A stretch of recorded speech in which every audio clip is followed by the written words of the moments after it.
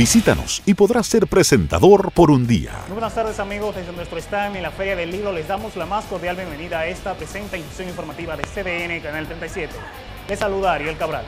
Iniciamos esta edición de noticias con el presidente de la comisión que estudia el proyecto que declara Loma Miranda Parque Nacional, que decidió eliminar las vistas públicas y analizar de forma interna si se explota o no este recurso natural.